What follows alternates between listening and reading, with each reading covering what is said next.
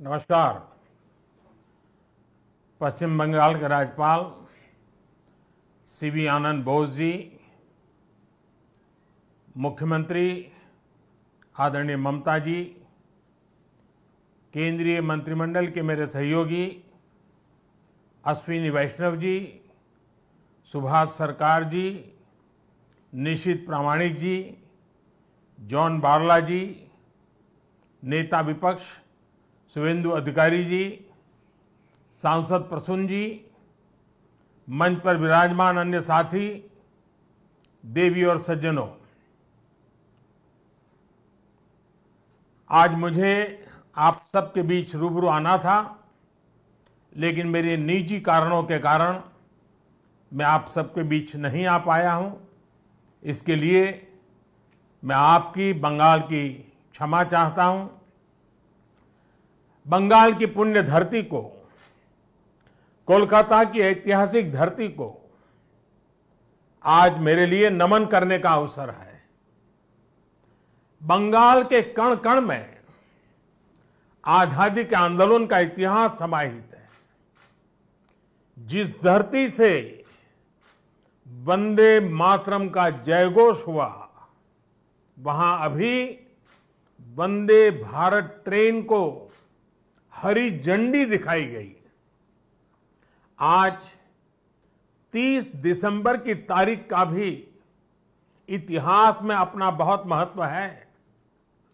30 दिसंबर 1943 1943 उस दिन ही नेताजी सुभाष ने अंडमान में तिरंगा फहराकर भारत की आज़ादी का बिगुल फूका था। इस घटना के 75 वर्ष होने पर साल 2018 में मैं अंडमान गया था। नेताजी के नाम पर एक द्वीप का नामकरण भी किया था। और अब इस समय देश आज़ादी के 75 वर्ष का पर्व मना रहा है। अमृत महोत्सव मना रहा है। इसी अमृत महोत्सव में देश ने 475 वंदे भारत ट्रेन शुरू करने का संकल्प लिया था। आज इसी में से एक हावड़ा न्यू जलपाईगुड़ी वंदे भारत ट्रेन यहाँ कोलकाता से शुरू हुई है। आज ही रेलवे और मेट्रो की कनेक्टिविटी से जुड़े अन्य प्रोजेक्ट्स का भी लोकार्पण और शिलान्यास हुआ है। करीब पाँच हज़ार करोड़ रुपए की लागत से Joka, BBD, Bagh metro project पर काम हो रहा है। इसमें से जोका तरालता मेट्रो रूट बनकर तैयार हो गया है। इससे शहर के लोगों की ईज ऑफ़ लिविंग और बढ़ेगी।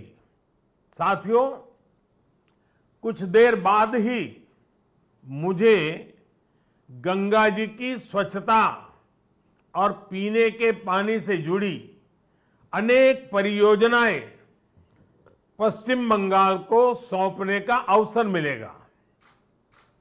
नमामि गंगे मिशन के तहत पश्चिम बंगाल में सीवरेज के 25 से ज़्यादा प्रोजेक्ट्स को मंजूरी दी गई है। इनमें से 11 प्रोजेक्ट पहले ही पूरे हो चुके हैं और सात प्रोजेक्ट आज पूरे हो रहे हैं। आज डेढ़ हज़ार करोड़ की लागत से पाँच नई परियोजनाओं पर काम भी शुरू हो रहा है। इसमें जो प्रमुख है, वो है आदि गंगा नदी का पुनरुद्धार। मुझे बताया गया है कि अभी आदि गंगा नदी की स्थिति दुर्भाग्य से बहुत खराब है। इसमें जो कूड़ा कचरा गिरता है, सीवर का गंदा पानी गिरता है, उसकी सफ़ाई के लिए 600 करोड़ रुपए से अधिक का आधुनिक इंफ्रास्ट्रक्चर तैयार किया जा रहा है। हम लोग अक्सर व्यक्ति के जीवन में प्रिवेंटिव हेल्थ केयर की बात तो करते रहते हैं और हम कहते हैं कि दिनचर्या वो होनी चाहिए कि बीमारी की नौबत ना आए। ठीक इसी तरह नदी की गंदगी को साफ़ करने के साथ ही केंद्र सरकार प्रिवेंशन पर भी बहुत ज़ोर दे रही है। और इस प्रिवेंशन का सबसे बड़ा और आधुनिक तरीका है, ज़्यादा से ज़्यादा आधुनिक सीवेज ट्रीटमेंट प्लांट। आने वाले 10-15 साल बाद की जरूरतों को ध्यान में रखते हुए देश में आज ही आधुनिक सीवेज ट्रीटमेंट प्लांट लगवाए जा रहे हैं। आज़ादी के अमृत काल में हमें फॉरवर्ड लुकिंग सोच और अप्रोच के साथ देश को आगे ले जाना है। साथियों, इस 21वीं सदी में भारत के तेज विकास के लिए भारतीय रेलवे का भी तेज विकास, भारतीय रेलवे में तेज सुधार, ये सारी बातें बहुत ज़रूरी है। इसलिए आज केंद्र सरकार भारतीय रेलवे को आधुनिक बनाने के लिए, रेलवे इंफ्रास्ट्रक्चर को आधुनिक बनाने के लिए रिकॉर्ड इन्वेस्टमेंट कर रही है। आज भारत में भारतीय रेलवे के कायाकल्प का राष्ट्रव्यापी अभियान चल रहा है। आज वंदे भारत, तेजस हम सफ़र जैसी आधुनिक ट्रेनें देश में बन रही हैं। आज विस्टाडोम कोचेज रेल यात्रियों को नए अनुभव करा रहे हैं। आज सुरक्षित आधुनिक कोचेज की संख्या में रिकॉर्ड वृद्धि हो रही है। आज रेलवे स्टेशन को भी एयरपोर्ट की तरह विकसित किया जा रहा है। न्यू जलपाईगुड़ी स्टेशन भी इसी लिस्ट में शामिल है। आज रेलवे लाइनों का दोहरीकरण, रेलवे लाइनों का बिजलीकरण जिस रफ्तार से हो रहा है, वो पहले कभी नहीं हुआ। देश में जो ईस्टर्न और वेस्टर्न डेडिकेटेड फ्रेट कॉरिडोर बन रहे हैं, वो लॉजिस्टिक्स सेक्टर में क्रांतिकारी बदलाव लाने वाले हैं। सुरक्षा हो, स्वच्छता हो, सामर्थ्य हो, सामंजस्य हो, समय की पाबंदी हो, सहूलियत हो, भारतीय रेलवे आज एक नई पहचान बनाने की हम सबकी कोशिश रंग ला रही है। बीते आठ वर्षों में भारतीय रेलवे ने आधुनिकता की नींव पर काम किया है। अब आने वाले आठ वर्ष में हम भारतीय भारतीय रेलवे को आधुनिकता की नई यात्रा पर निकलते हुए देखेंगे। भारत जैसे युवा देश के लिए भारतीय रेल भी युवा अवतार लेने जा रहा है। और इसमें निश्चित तौर पर 475 से ज़्यादा वंदे भारत ट्रेनों की बड़ी भूमिका होगी। साथियों, आज़ादी के बाद के सात दशकों में बीस हज़ार रूट किलोमीटर रेल लाइन का बिजलीकरण हुआ। वहीं 2014 में हमारी सरकार बनने के बाद, बीते सात आठ वर्षों में ही बत्तीस हज़ार रूट किलोमीटर से ज़्यादा रेल लाइन का बिजलीकरण हो चुका है। ये है देश के काम करने की रफ्तार, रेलवे के आधुनिकरण की रफ्तार। और इस रफ्तार को तेज करने के लिए अब भारत में दुनिया के सबसे शक्तिशाली बिजली के रेल इंजनों का भी तेज़ी से निर्माण हो रहा है। साथियों, आज के भारत की स्पीड और स्केल का एक और प्रमाण हमारा मेट्रो रेल सिस्टम है। कोलकाता के लोग जानते हैं कि दशकों से मेट्रो रेल पब्लिक ट्रांसपोर्ट का कितना बेहतरीन माध्यम रही है। 2014 से पहले तक देश में कुल मेट्रो नेटवर्क 250 किलोमीटर से भी कम था और इसमें भी सबसे बड़ी हिस्सेदारी दिल्ली एनसीआर की ही थी। केंद्र सरकार ने इस स्थिति को भी बदलता हुआ है उसको बदलने का पूरा प्रयास किया है, और बहुत तेज़ी से बदला है। बीते आठ वर्षों में हमने मेट्रो का दो दर्जन से अधिक शहरों तक विस्तार किया है। आज देश के अलग अलग शहरों में लगभग 800 किलोमीटर ट्रैक पर मेट्रो चल रही है। 1000 किलोमीटर के नए मेट्रो रूट पर तेज़ी से काम चल रहा है। जोका बिबिड़ी बाग मेट्रो परियोजना इसी संकल्प का हिस्सा है। साथियों, पिछली सदी के भारत की दो और बड़ी चुनौतियाँ रही हैं, जिन्होंने देश के विकास पर बहुत नकारात्मक असर डाला है।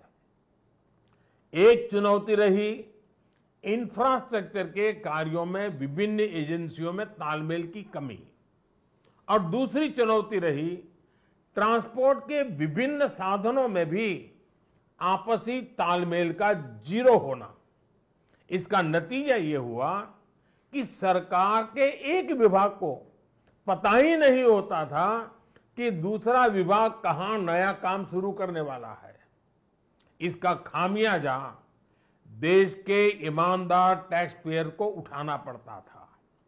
देश का ईमानदार टैक्स पेयर हमेशा से सरकारी पैसे की बर्बादी से, परियोजनाओं में देरी से, भ्रष्टाचार से नफरत करता है। जब वो देखता है कि उसकी गाड़ी कमाई से, दिए हुए टैक्स से गरीब का नहीं, बल्कि किसी भ्रष्टाचारी का भला हो रहा है। तो उसका खिन्न होना स्वाभाविक है। पैसे की इसी बर्बादी को रोकने के लिए विभागों में, सरकारों में तालमेल को बढ़ाने के लिए PM Gatishakti national master plan लागू किया गया है।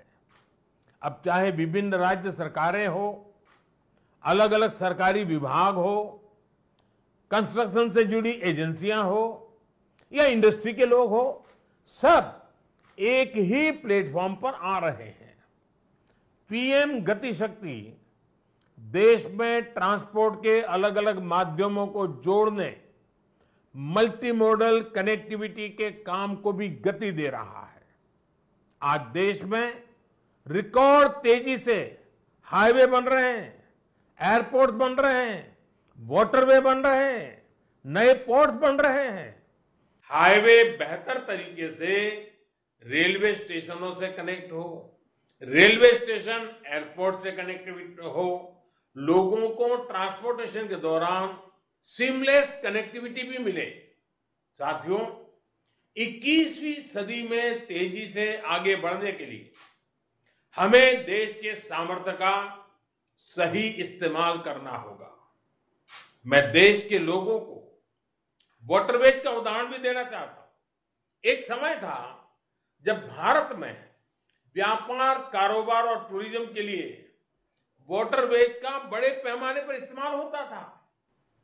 इसलिए कितने ही शहर नदियों के किनारे बसे नदियों के किनारे इतना औद्योगिक विकास हुआ।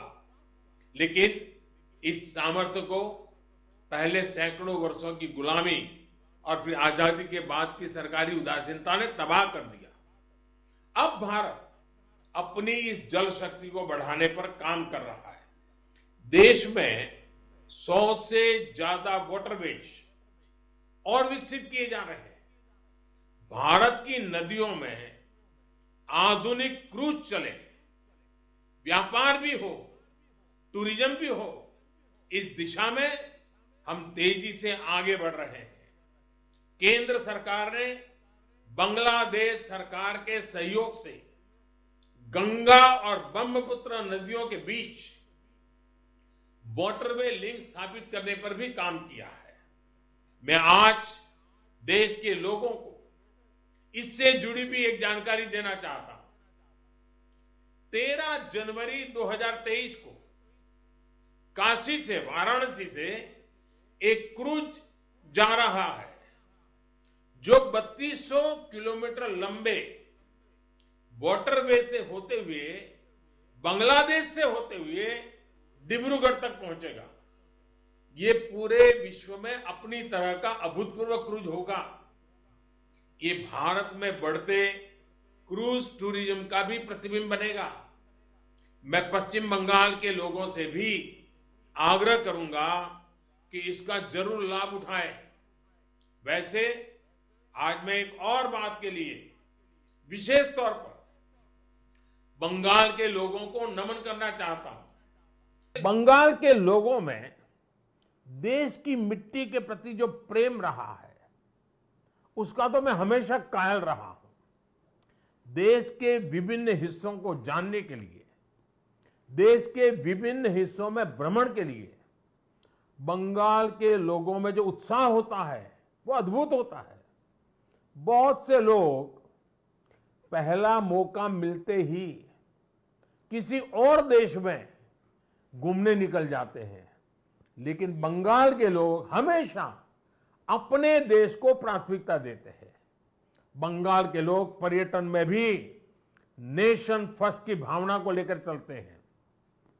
और आज जब देश में कनेक्टिविटी बढ़ रही है, रेलवे, हाईवे हाईवे, वाटरवे आधुनिक हो रहे हैं तो इससे ईज ऑफ़ ट्रैवल भी उतना ही बढ़ रहा है।